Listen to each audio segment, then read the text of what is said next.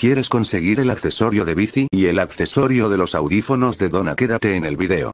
Se meten a 13 Atomic Play.